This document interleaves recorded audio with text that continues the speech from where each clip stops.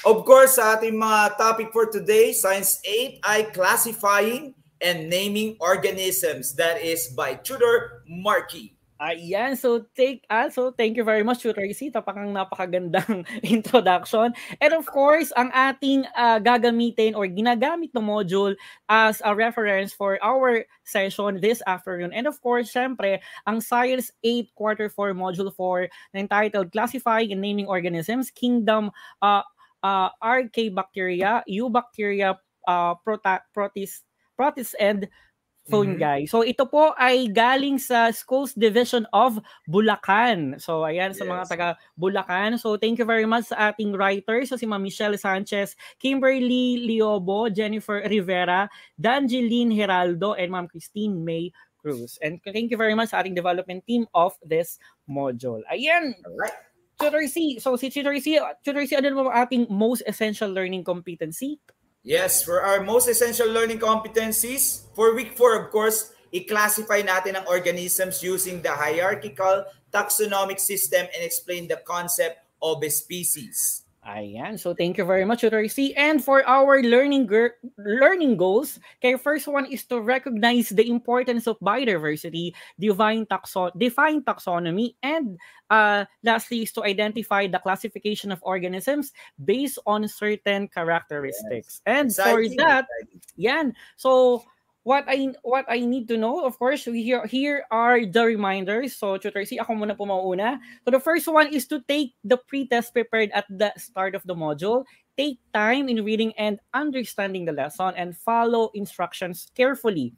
Third one is to use a clean sheet of paper or just comment on your uh, comment section for answers for each activity or assessment. And lastly, try to recall and connect the ideas that you had in the lower years. For the following, for the follow-up uh, reminder, here is Tutor C. Yes, try to recall. Iba pala yung call. Okay. Alright, don't, don't hesitate to ask. Of course, syempre dapat maintindihan class. So if you're uh, confused, magtanong lang, be honest when doing the activities, record only what you have really observed. Take the post-test para alam natin kung hanggang saan na natutunan at ano ang i-remedial natin. And check your answers, of course, sa self-assessment and post-test. Junior Margie? Ayan, so damo na damo na, na gets na natin ang ating grade 8 learners. Siyempre, ready ready na sa ating online. And of course, bago ang lahat, here are the recognition at stake. Siyempre, meron tayong mahusay duty, faster thinker duty, Sitastic Tuty, Mahusay Teacher, and of course, Mahusay School. So talaga namang yes. uh, aabangan natin yung tutor sa ating recognition. Siyempre, fourth quarter na, mm-hmm. sino-sino ba, ano-anong mga school o sino ba yung mga teachers na talagang hanggang dulo ay nanonood sa atin at nakikipag-participate. Right, Tutor C? Correct. Yes, Tutor Marky, kumbaga dati weekly yan eh. Pero this yes. time, dahil nasa fourth, kumbaga last lap na tayo, tingnan natin yes. yung talagang matatag na kasama natin araw-araw sa bandang dulo. Okay, sino ba yung may mga pamighty band na talagang kapit na kapit sa atin? Okay, talagang virtual hug tayo kahit di tayo ng mga nagkakasama. Siyempre, dito lang tayo tutor si nakakapag-usap, nakakapagtarong tayo ng ba, uh, uh, communication sa ating itulay. And of course, siyempre, mm-hmm. sa gaya ng sa reminders na nabanggit namin kanina, we're going to take the pre-test. So, the directions are read each question carefully, choose the letter of the correct answer, use a separate sheet of paper for your answers or comment it down. So just like, just like this. That. All right. Yes. So Tutor C, take it over. The first question. Yes, so grade uh, 8 ang uh, ating unang question para sa ating pre-test. He developed the modern taxonomic system. So sino ba ito? Si A. Albert Einstein ba yan? B. Carlos Linnaeus? C. Charles Darwin? Or si D. Ernest Rutherford? So, syempre, pre-test, hindi ko medyo ano, nalilito ako ng konti. Kunwari, okay. Chura Marky, bago siya tumalon, Stella Maris Lapos, sabi niya, letter B daw siya. Mark Lester, letter B. Antricia Valenzuela, B rin siya. Pero pagdating kay Charles Daniel Ganoy, letter A. And Stella Maris, letter B. How about on your end, Chura Marky? Ayan, so I have here uh, Beverly Lungaya, letter B, ang kanyang answer. Aaron S. S. Mil Aaron Ace Milo, letter B. Rain Eugenio, letter B. Kimberly Manias, letter B. Monique, ayan, umakyat na si Monique, letter B din ang answer yes. niya. All right, so Mary Rose Santos, letter D naman ang kanyang sagot. So let's reveal now the answer for our pre-test question number one. The one who developed the modern taxonomy system is Letter B, Yan, Carlos Linnaeus. Ayan, ako very sa camera ko. Linaw-linaw ng dating. Wow, para namang napaganda ang lighting mo dyan, Tutor Siwa. Oo Kasi nga. ako naiwan, naiwan ko sa school ang aking ring light. Kaya naman medyo madilim-dilim ako dito. All right, for Um, our question number two, let's move on. So how are group of organisms rank? So paano ba sila nira-rank? So is it letter A, highest to lowest? Letter B, increasing to decreasing? Letter C, largest to smallest? Or letter D, Largest to smallest to largest? All Smallest to right, so largest. Ayan, so hello po. Ayan, no? Talaga namang ah, comment lang ng comment. Of course, huwag natin kakalimutang mag-share sa ating online session. Huwag natin kalilimutan. Hindi lang po tayo answer ng answer. Share din tayo ng share para siyempre the Yes. more, the merrier. Mas masaya, di ba? So, ang ating tutor Correct. sa akin, nakikita ko dito si um, Stella Malis Stella Madislapus, letter D ang kanyang answer. Si Justin Layug naman ay letter B. Jamela Castro Osdanya, letter D. Eliza Nicole Sawa, letter A naman yung kanya. Daisy Santos de la Cruz, letter A. Laika Galang Paglangalan, letter A. Kimberly Maningas, letter A. Sa inyo po, Tutor C? Yes, I'm not sure kung nabasa mo na to, Chudo Marky. Marian Shin Eugenio, letter, ah, number one siya. Si Rain Eugenio is letter D. Aldrin Mark Pulayan, ah, nasa number one pa rin siya. So, that's basically it on my end, Chudo Marky.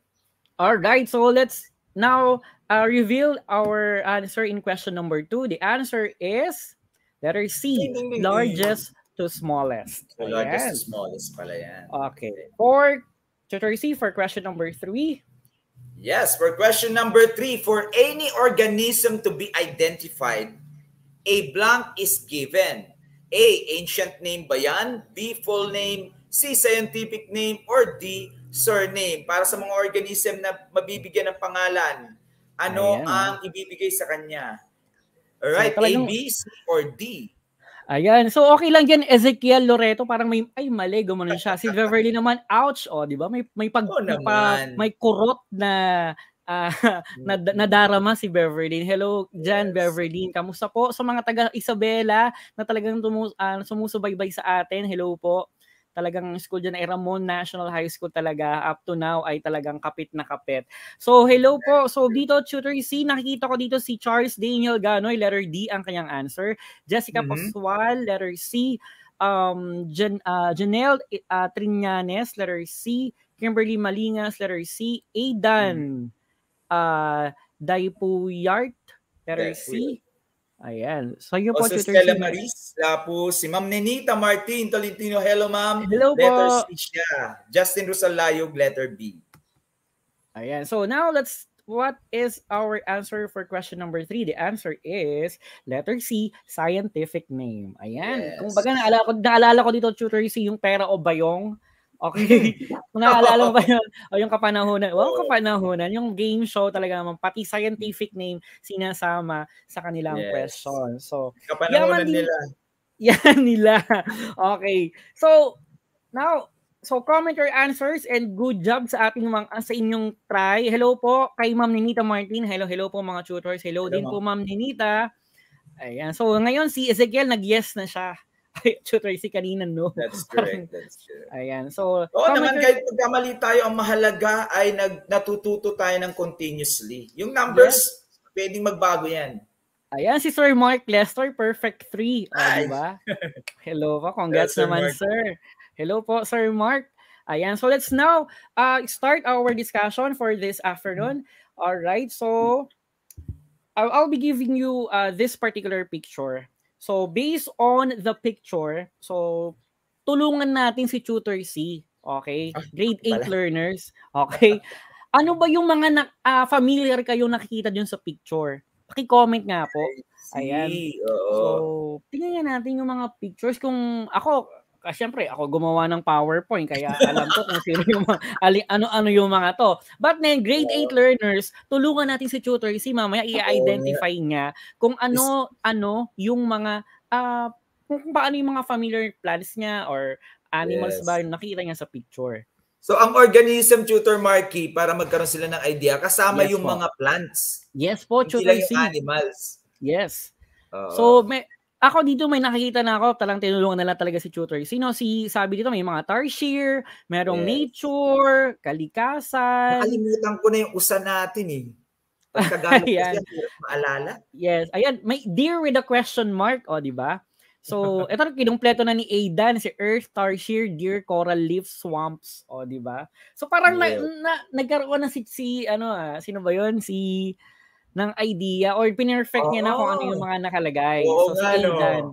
Hello, Aidan. Uh, thank you very much. Sa, kaya lang may question mark pa siya, pero okay lang din yan kasi nag, hmm. nag-guess pa siya. Ayan. So, siguro, Tutor C, natulungan na tayo ni Aidan, ano? Yes. So, I-insert ko lang to Tutor Marky, sabi ni Ma'am yes, Nenita, different organisms, group of organisms, uh, depende sa different habitats daw. Yes, very good. Thank you very Yun. much, Ma'am Ninita. At talagang si Ma'am Ninita ay uh, tinutulungan niya rin tayo mga tutors dito sa pagpapabigay uh, ng information sa ating mga grade 8 learners. Thank you, Ma'am Ninita. Talaga namang good job na good job talaga si Ma'am Ninita. And for that, so yamaling nabanggit ni, ni uh, Ma'am Ninita, it is a group of different uh, group of different organisms in a certain uh, place. So and that is what we call biodiversity. Wow. Okay, biodiversity. And of course, syempre, na nilagay ko dyan, Tutor C, yung uh, Philippines and our very own planet. It is because our uh, Philippines is uh, good or very good tayo. It is one of the most, uh, tao dito, diverse. pinaka uh, diverse or kumbaga, uh, mataas yung percentage mm-hmm. ng magandang biodiversity natin. Mm-hmm. Okay, okay. Sabi nga ni ang ating uh, direct, sabi nga samut-saring buhay. Ayan. Thank yes. you very much po. At may pa-in, pa-insert pa-insert pa talaga si sa ating si at si, si Derek sa atin. And of course, syempre yaman din namang ang biodiversity. It is something that it is sabi nga nina a variety of plants, animals and microorganisms and even the bacteria. Kumbaga lahat tayo ay parte ng isang biodiversity. So mm-hmm. it describes the different kinds of ecosystems and habitats that occurs in just like for example deserts, in a forests, wetlands, mountains, lakes, rivers, places, and where we grow crops of food. In yes. short, Tutor C, uh, lahat tayo ay nabubuhay or parte ng isang biodiversity, right? Tutor C? Yes, yes. So, kumbaga, uh, kailangan din natin ang biodiversity at kailangan din tayo ng biodiversity. So meaning to say, talagang may connection tayo dalawa, may connection tayo sa biodiversity. So kailangan natin din natin siyang pangalagaan. So ano ba yung mm. mga um, na bibigay na advantage ng isang magandang biodiversity? Syempre dahil nga sabi natin kanina, ito ay interconnected tayo uh, na with the biodiversity, ito yung nagko-provide din sa atin ng mga pangangailangan natin bilang isang tao. So ibig sabihin, uh, kailangan din nating pangalagaan ang, ang ang environment which is part doon ay yung biodiversity. So syempre ano ba yung mga napapakinabangan natin? So pag uh, yung pagkain natin, okay, yung mga nasa paligid natin. So and even even sa atin yung mga may mga papers tayo. So yung mga papel na ginagamit natin, it is also a product of a good bio- biodiversity kasi nanggagaling yan sa ating mga puno. And so, Tutor C, meron po bang ano si, ayan, ano ang Tutor C, ano yung nabanggit ni, ni Direk sa atin? Si parang Direk? Gusto kong, oo, may parang gusto kong mag, uh, ano, mag, ng bagay ay magkaugnay. Ay magkaugnay, yes. Magkaugnay ang lahat. So, you mean to say, sabi nga, tama nga si Direk, so, we are all interconnected. So, ibig sabihin, yes. kapag naapektuhan yung isa, maapektuhan din tayo, di ba? Tutor C. Ngayon, kaya ngayon, Tutor C, medyo nararamdaman natin, pero, pero uh, kahit na summer, pero nagkakaroon tayo ng uh, tag-ulan or rainy season. Mm. Okay, di ba? Parang hindi, o, uh, ano eh, nagkaka- napabago-bago na. So, ibig sabihin, it also, uh, tawag dito, in, in, at the bottom part, kailangan din natin ang pangalagaan ng bawat isa. Ayan. That is correct. That is correct. Ayan. Kasi so, walang-wala tutor Marky para mabuo ang ating uh, ecosystem, kailangan talaga natin ng iba-ibang uh, biosphere. Eh. Yung meron yes. tayo sa water, sa land, sa air. So ganun. Kaya hindi pwedeng masira ang isa dahil maapektuhan yung iba. Yes, talaga naman. Okay. So kaya nga mag mag-alagaan tayo, 'di ba? Wow. Yes. okay. So, may nabanggit dito si si Marniel, 1.75 million species have been identified. Siguro nabanggit niya 'yon kasi it is also part of the biodiversity. So, mm-hmm. dahil lang din naman din nabanggit namin ni Tutor C ang uh, um, definition or even description regarding biodiversity, grade 8 learners. So, meron tayo ditong thumbs up tsaka thumbs down. So ngayon, so i-comment nyo or just simply uh, comment yung thumbs up and thumbs down kapag thumbs up kapag correct or sa tingin yung tama or thumbs down naman kapag uh, mali. Okay. Okay, from our first statement, Tutor Z. Ayan, gumagalaw okay, first statement. A rich biodiversity provides more food resources. All right? So ang rich daw na biodiversity nagbibigay ng maraming supply ng pagkain. Is it is that tama or is that wrong? Okay, Alright. standby tayo. So, nakita ko dito tutor si Stella Maris Lapus thumbs up daw. Okay, mm-hmm. as well as Jamela Osdanya, Aiden Day Puyart. Okay, uh, Lai Kagalang Pagdanganan, Janelle Kabil Kabilin, okay, Janela Belingon. Ayan. And Mary Rose Santos, ka Aaron Ace Milo, thumbs up. Ayan, talagang gets na gets nila. So the answer is thumbs up. Thumbs Correct. Up. Okay, for our second statement, pro, uh, protecting biodiversity avoids natural disasters. Mm-hmm. Disasters. Okay. Disasters. Protecting biodiversity avoids natural. Okay, sige, sige. Number two na po tayo para alam natin na meron tayong sinasagot. Okay, Janelle Kabilin, Tutor Marky, thumbs up siya sa number two. What else? All right. Jerome Osdanya, thumbs up din siya. Number two, Beverly Joyce Lungayan, Marniel Kyle Lustrel Ramos, Kristen Gale Santos. Hello, Kristen Gale. Uh, ikaw, Tutor Marky, mabilis dito. Ayan, eh. si Kurt Furok. Ayan, hello, thumbs up. Leia De Vera, thumbs up din. Kay uh, Ann Tricia Valenzuela, thumbs up. Double thumbs up pa yung kaya niya. Alright? So, the yes. our statement number two is, alright, approve, thumbs up. Ayan. Mm, Thank you very much. And for our third statement, I think it will be the last for this one, Tutor Z. Biodiversity uh, supports medicinal resources only. Okay? Take note, biodiversity supports medicinal resources only. Okay, Stella Maris Lapos, Tutor Marky, I saw him thumbs, ah, her thumbs down. Beverly Joyce as well, thumbs down. Janelle right. Kabiling, uh, thumbs down. As well as mm-hmm. Chloe Viernes, Eliza Sawal, Marinel Ramos, Ezekiel Loreto. All right. So Ace Azarcon, super duper daming thumbs down. All right. Okay, kasi ang dami eh. All right. So for our third uh, statement, the answer is thumbs down. Kasi syempre, hindi lang naman medicinal resources. Gaya nung nabanggit ko kanina, even yung mga pangangailangan natin sa bahay, alright, so paper uh, production, alright, ito ay even our food, Okay, ito mm. ay na, na pinusuportahan ng ating biodiversity. Ayan, thank you very much sa ating grade 8 learners na sa inyong participation. And on that note, ayan, Tutor C, yaman ng biodiversity ang pinag-uusapan na rin. Mm-hmm. At sa biodiversity ay maraming mga species, okay, or animals na makikita, right, Tutor C? And even animal, uh, plants, living mm-hmm. organisms, okay, meron tayong isang tao na sa pang, na ang pangalan niya ay Carlos Linnaeus. No kung mm. saan si Carlos Linnaeus is is ang Swedish botanist. Botanist, okay. The one who studies uh, plants. Developed yes. a modern taxonomic system of classifying organisms. Mm-hmm. So ibig sabihin, sabi niya, ang dami na nating mga organisms sa ating biodiversity. Bakit uh, kailangan na natin siyang uh, i-order. Okay, nagkaroon, i-organize. Thank you, thank you very much, Tutor C. O nagkaroon tayo ng system of classifying those organisms. At doon po, nagkaroon ng tinatawag na taxonomy. So, it is came from a Greek word, taxis, meaning arrangement, and nomos means method. So, a method of arranging uh, or classifying the organism. So, he is Carolus Linnaeus. Ayan, yes. see.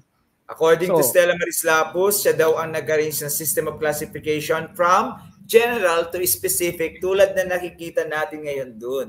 Alright, so thank you very much. So, sabi nga dito, Tutor C, tama siya. So, in general to specific, so it is in a hierarchy of groups for taxonomy. Kumbaga, level by level, Tutor C. Sabi nga kanina sa question natin, di ba?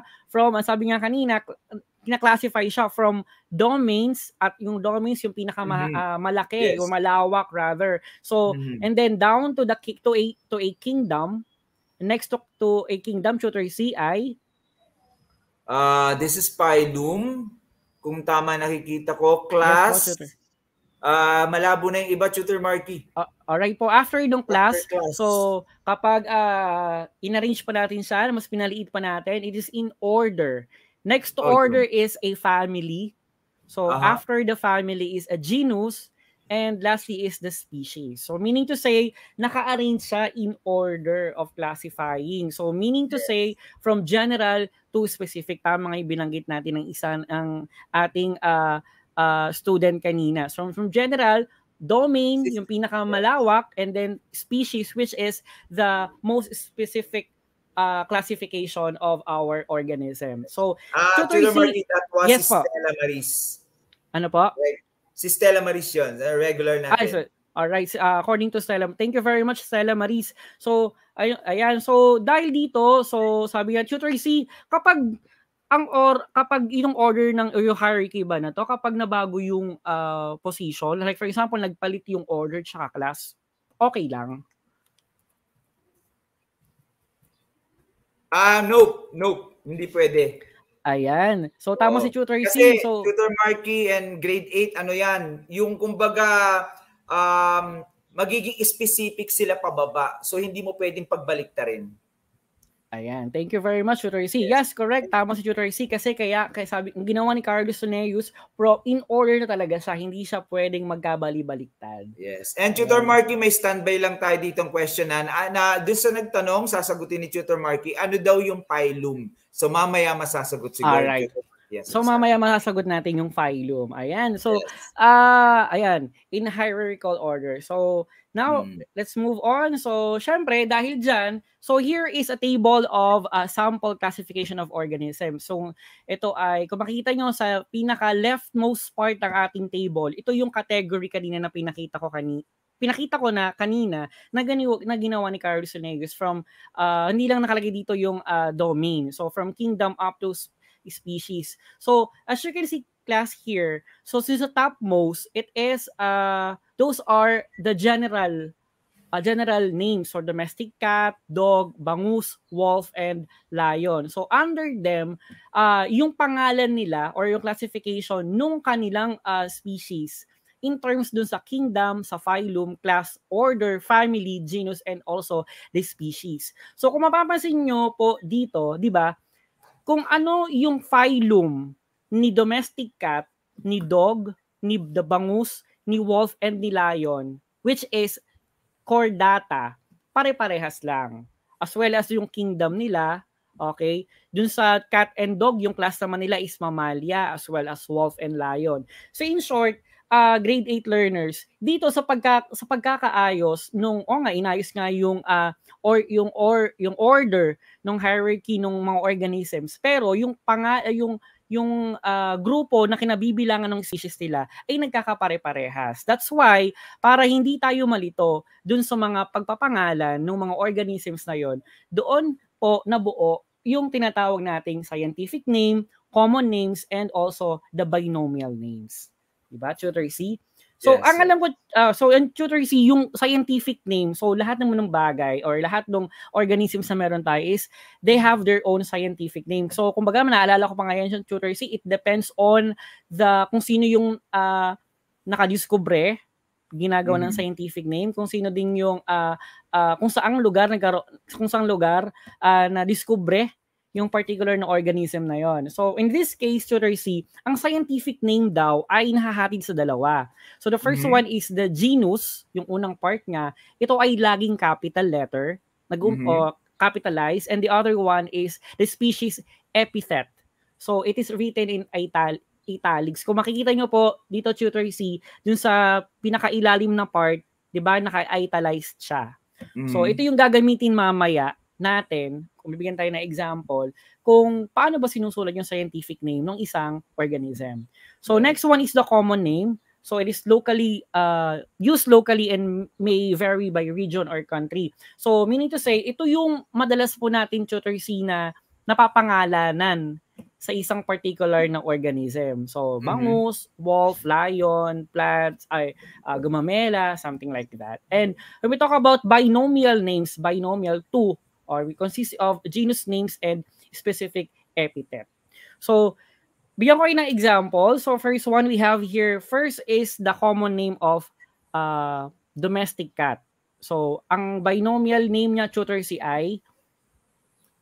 Common, common binomial name? Yes po, tutor Z. Uh, that's genus Felis. Tama ba? Yes po. Aha. Ang ang ang spe- ang species naman po niya ay Catus, kung na Ayan. tama na babasa ko, Tutor Yeah. Margie. yes po, tutor C. So meaning to say, binomial, dalawa yung name niya. Ang genus, ang Ah. domestic cat ay ang genus niya is Felis. Okay, so ang kanyang uh, species ay Catus. So Yes. pagdating ng scientific name, pagsasamahin yung yung uh, dalawang name which is the Felis Catus. Ayan. Yes. So in short, ang ang scientific name ng domestic cat is Felis cat. All right. So we have here also other examples like for example the dog. So the common name is dog. Ang ating Mhm. binomial name is its genus is Canis, its species is Familiaris. So therefore, its scientific name is pag pinagsama Canis familiaris. All right. So even as human ay meron tayong uh, uh, common name. So human, ang binomial name niya is Homo and sapien. So therefore, ang ating scientific name, ano kaya? Okay, ang ating scientific name ay okay, Homo, Homo sapien. Ayan. So ayan. So in short, we're all done. So laging tandaan yung unang uh, word ng ating scientific name, yung unang word niya is always in scientific uh, in in capitalized Capital. All right. So capital letter. So pag pinagsama siya, in scientific name it must be uh italic or italicized. All right. Yes. So yun ang ayan. So thank you very much sa ating grade 8 learners na nagko-comment pa. Nagko-comment ang ating mga scientific name ng uh, human. Ayan, thank you very much. So Next po, now we will move on to the kingdom. So dahil mas madami, medyo malawak sa tutor C. Okay, Mhm. mm titingnan ko yung oras kaya medyo ma- mamadali na ng konti, Okay ng yan. Ng konti. So first one, tutor C, ito medyo mahirap. Kanina nga uh, pinapractice ko na kung paano banggitin yung mga terms na, na to. Siyempre, so the first one is the kingdom arc eh, ano, Archaebacteria. Okay, Bacteria. Archaebacteria. All right. So, for this, Tutor C, ano po ulit ang listing ang description ng Kingdom Archaebacteria? Okay, ito ay group of single-celled organisms that are ane anaerobic as well as aerobic prokaryotes. Tama ba? This Yes, Tutor. various places amid in extreme environmental conditions like near volcanic activity. Uh, bottom line nito, Tutor Marky, is that this is a single-cell organism. Napaka-basic sa lahat ng basic. Yes. So, tama si Tutor C. So, of all the na pag-uusapan natin mga kingdom, when we talk about the Archaebacteria, so it is a Mhm. single-celled organism, just like that. Yes. So- Kasi hindi na siya lalampas doon. Tayo ay multi-celled tayo eh. Ito single-celled lang siya. All right. Thank you very much, C. And also, this particular kingdom archae- Archaebacteria has three classifications. So we have methano- methanogens, we have the halophiles, and thermophiles. So the first one is uh, methanogen. So it exhibits places where there is no oxygen. So Mhm. they produce methane gas. Alright? Kumbaga, itong particular na bacteria na to, C, naki, na present siya kung tayo ay nasa bukiran, so may mga dayami, yung, di ba nung bata tayo kapag nag, Mhm. ano, nag, ano tawag dito, may mga tuyong da- dayami, tawa ba? Yung Mhm. mga, ah, yung sa, sa palay, to, to, to yung palay, di ba nagbabacktide, Mhm. backtide tayo, nagpa-tumbling-tumbling. So kung may naaamoy tayong parang ah, methane gas, Okay, it is because there is a presence of methalogens. Kumbaga, Yes. okay. So the next one is the halophiles. So ito yung itsura niya. So they live in areas where the con- concentration of salt is very high. So Yes. meaning to say, so syempre, the more mas madaming salt or the more mas maalat or concentration ng salt ang meron ng isang organism, therefore may presence siya ng uh, halophiles. And lastly, we have the thermophiles.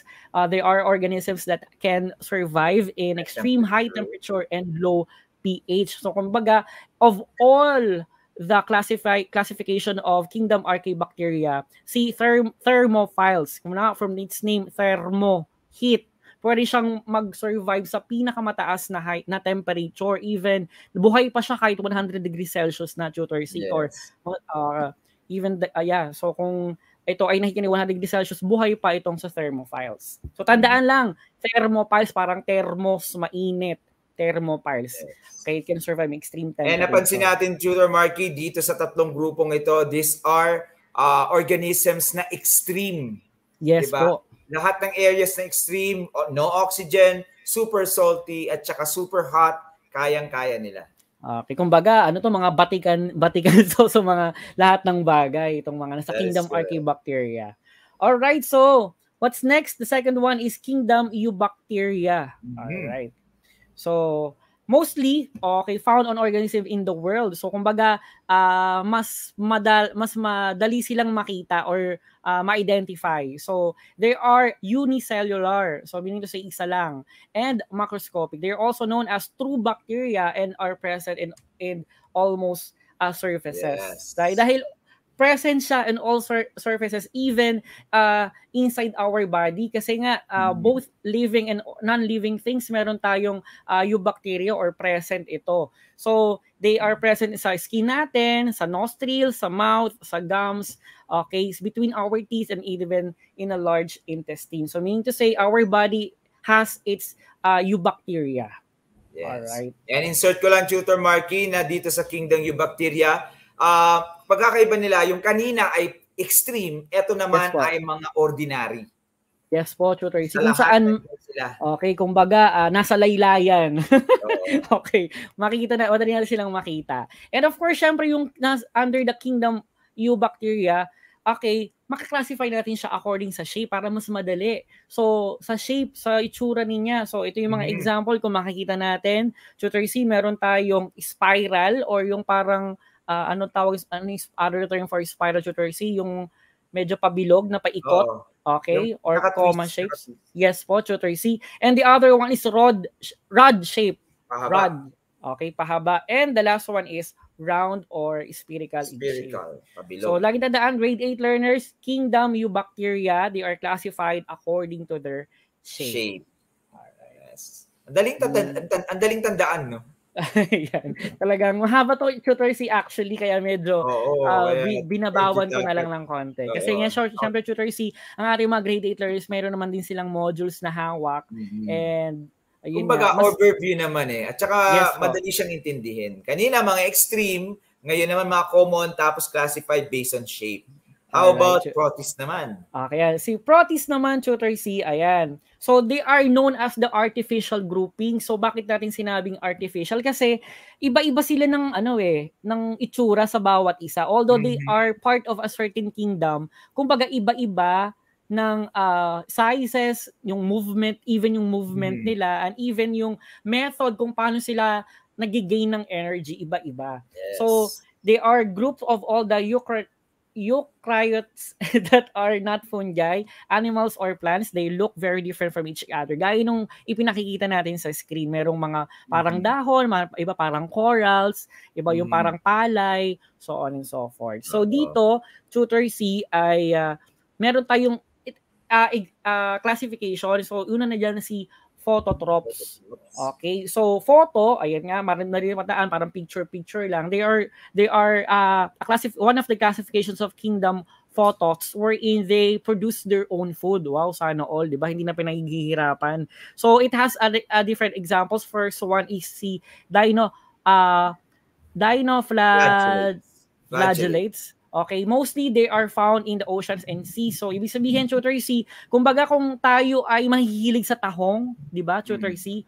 Okay, tapos kapag may nabalita tayo sa sa TV, okay, uh, na okay, ito ay may ngayong red tide, red tide. Okay, kasi ibig sabihin, there is a certain bacteria present on that particular tahong, which is the dinoflagellate ano to, dinoflagellates. Ayan. So, yun yung nagpapa uh, uh, harmful nung kinakain natin since they are mostly found in the oceans and seas. Kaya kayo, yung mga grade 8 learners, kapag kakain ng tahong, yung mga mahilig sa tahong, though it is rich in iron then, okay, and iodine of course, ay syempre, ingat lang din tayo kung pakinig din tayo sa balita kasi baka may presence na siya ng, ng protease na ito nga example. Mm-hmm. right. So our second one, second example is the eul eulogenoids. So they are exhibits fresh water uh, body. So kung kanina, yung isang example natin is mostly matagpuan sa oceans and seas, dito sa fresh water naman. Yes. And when and, you say freshwater, river, lake, lakes, ponds, yes. yung mga ganun. All right. Yes, correct, Tutor C. So, kumbaga, common din natin common din natin to nakikita. At ito pa mas common, Tutor C. Ito yung algae. Ah, All right. So, kung makikita niyo Tutor C, it it it it uh its big features, yung physical features niya, it has different colors. Kung saan green grade 8 learners natin ay mas maano pa nila tawag dito, mas, ay oo nga, no, ganun yung itsura niya. May makita tayong kulay green, kulay brown, okay, kulay red. Okay, kung baga, kung, di ba, nabalitaan natin tutor sa Boracay, yung mga nag-swimming, okay, yes. mayroong mga algae silang nakikita, yung kulay green. Yung, that particular algae, okay, is part of the kingdom protist. Alright, so, ayan, nakikita ko naman May mga algae rin sa dagat na umiilaw, Tutor Marky. Oh, yes. Opo, opo. Yes, tutor, you see. So, syempre, yung those uh, different uh, um, colors of a certain algae, since they are classified with their colors, they also have their own uh, uh, class uh, description. So, so mga green algae naman, they are diverse in size and shape. Commonly, green yung nakikita natin sa sapa, yung mga yes. lumot-lumot, you see, sa dagat. So, we talk about golden algae, they are the one who stores food as oil. Kung baga yes. kapag uh, din, uh, kinontract natin tong uh, algae na to, nagpo-produce siya ng oil.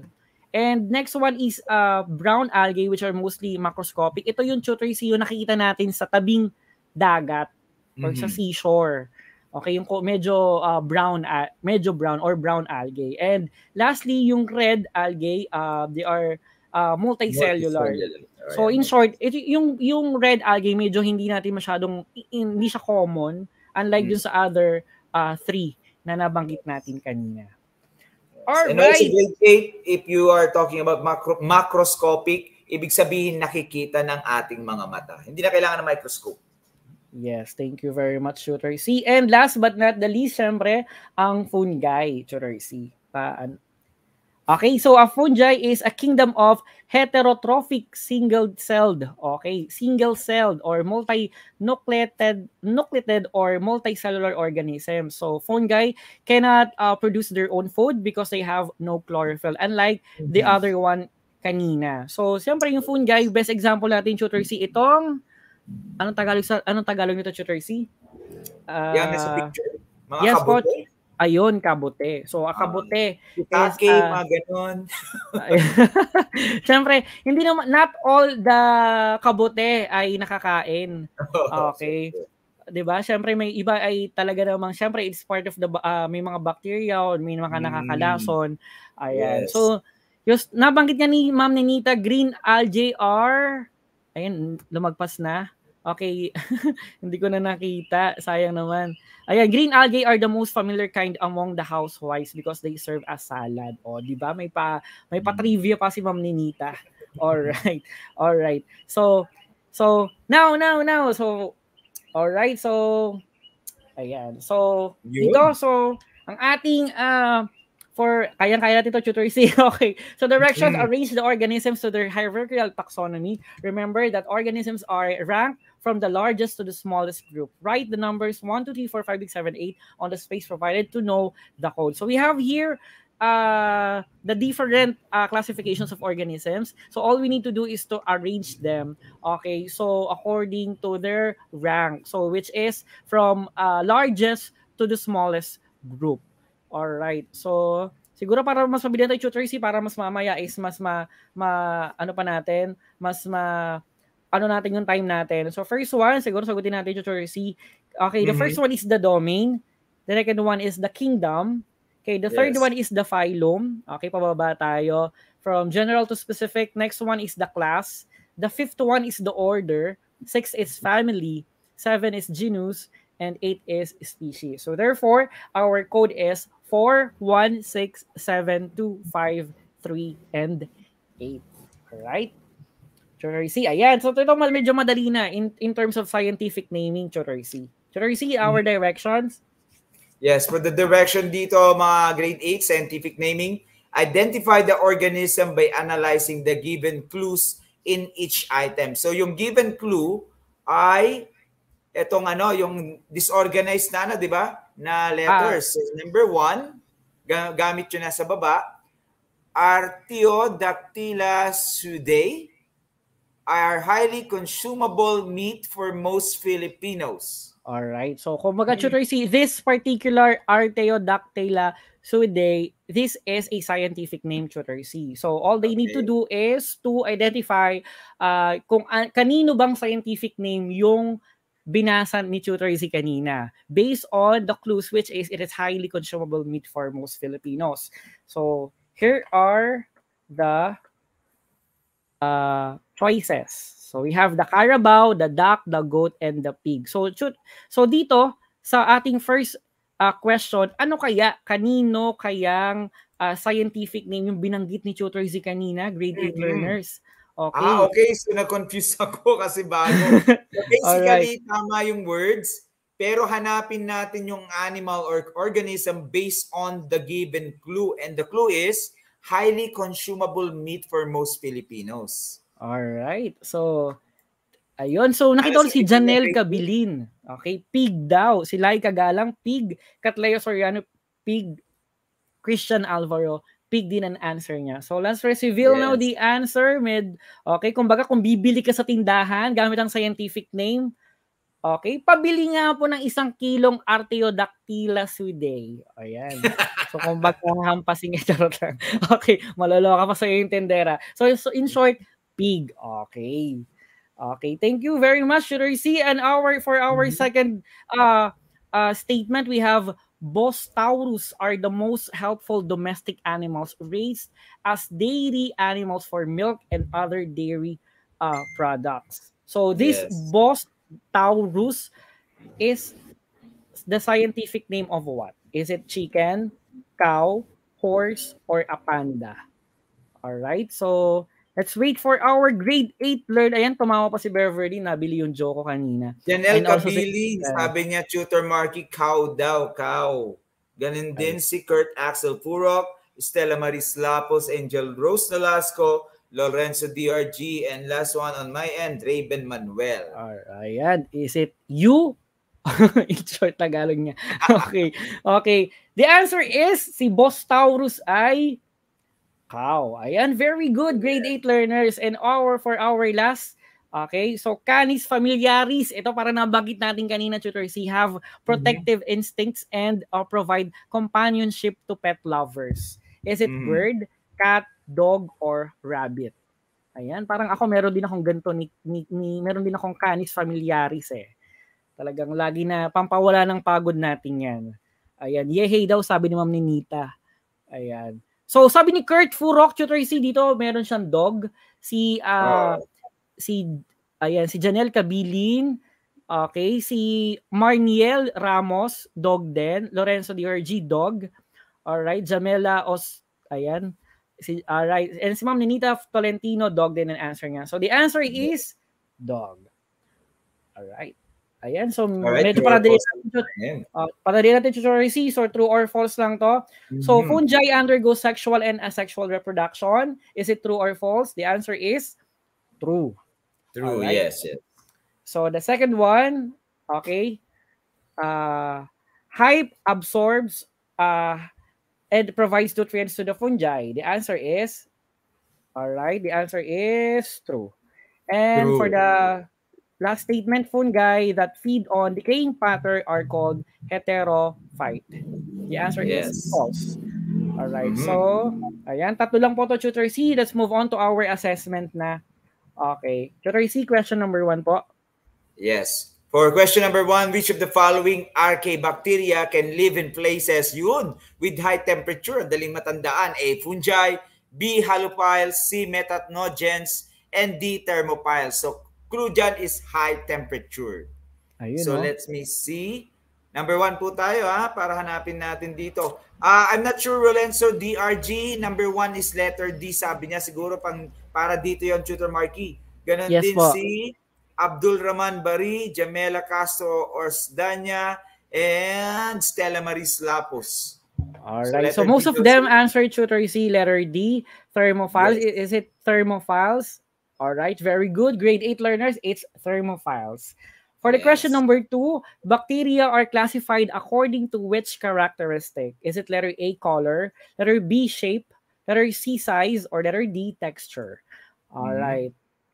Grade 8 learners, we are now on question number 2 of our uh, assessment. So, bacteria are classified according to their what? Okay, we are now on question number 2. So, according to uh, Janelle Trinares, is it letter is it is letter B shape. Mary Rose Santos, letter B also. Kurt Axel Furok, B I think po. All right. Mm-hmm. So Christine Rubio, letter B. James Chu, letter B. Leia Obiliano, letter B. Daisy Santos de la Cruz, letter B. So, the bacteria are classified according to their shape. Very good grade 8 learners. And last but not the least, letter Z. These are the largest in size of the algae species. A. Brown algae ba yan? Ah, yung kanina. B. Golden algae. Green algae sa letter C. Or D. Green algae. Ito actually yung sinabi natin na macroscopic ng algae yes, kanina. Yung nakikita ng mata, hindi na kailangan ng microscope. Is it A, B, C, or D? Uh, Beverly Joyce Lungayan, Tutor Marky, letter B ang nakita ko. Cyril Alcantara as well. Si Cyril nga lang is letter C. Ganun din si Luke David. Pagdating kay Ginger Alonso, letter B. At kay Laika Galang, letter C. Alright. So, what will be the correct answer? The answer is letter A, brown algae. Yes, yung makita natin sa tabing uh, dagat or seashore. Mm-hmm.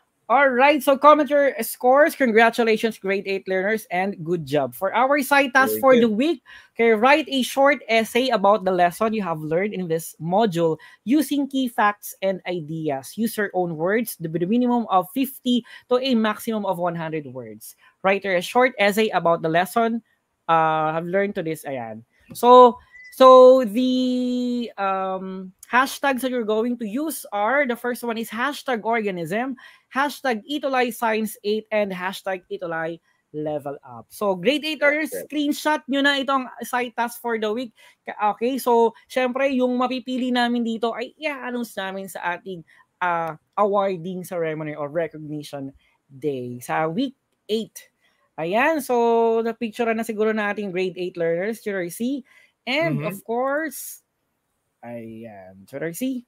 Yes, so that's it for today class. Meron lang ako hinahanap sana pang follow-up, mm. Tutor Marky, sa mga question na nakita ko. But anyways, we will uh, follow this up next Monday. For, for the meantime, for comments and suggestions, email us at edtech at debit.gov.ph. And up next, pagkatapos sa amin Tutor Marky, our Tutor Kevin and Tutor Bandong for Science 9. This is once again Tutor Z from SDO Tarlac Province together with I am Tutor Marky from SDO Bulacan saying sa agham, ikaw ang bida. So everyone, like and share this episode or this session. Yes. And for the meantime, Tutor Marky, class. Class, dismiss. Dismiss.